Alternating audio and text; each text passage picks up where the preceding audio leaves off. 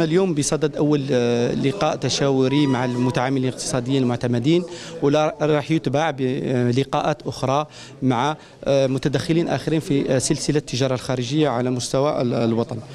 طبعا اليوم المديرية العامة لجمارك بدأت في ديناميكية جديدة لمراجعة مختلف التدابير والقوانين المعمول بها فيما يتعلق بالإجراءات الجمركية.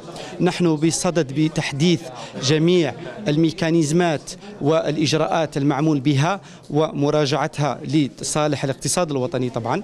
نحن بصدد كذلك وضع آليات وإدخال التكنولوجيات الحديثة فيما يتعلق بالعمل الجمركي عموما والرقابة الجمركية بوجه خاص.